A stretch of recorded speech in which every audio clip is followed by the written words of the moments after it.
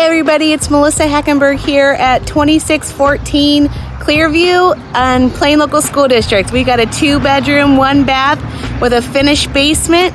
Come take a look.